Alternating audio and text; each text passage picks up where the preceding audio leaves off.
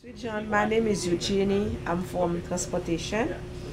I'm here to take you for dialysis. Okay, we're gonna move you on the bed, okay?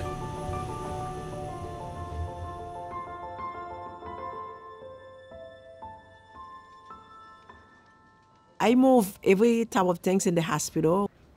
Patients, you know, specimens, blood, whatever is moving in the hospital, we're doing that. You acknowledge, you see what you're doing. If you need a stretcher or wheelchair, you look for the equipment. Then you know you go where you're supposed to go. We go everywhere in the hospital, down go imaging tests like CAT scan, MRI, ultrasound, X-ray. I never feel tired no. Sometimes we have to bring patients. Start is very, very important. I was in the hospital when I was younger. I was very sick. I was in the hospital. I remember every worker who did good to me. Uh, so that's why I always treat my patient good.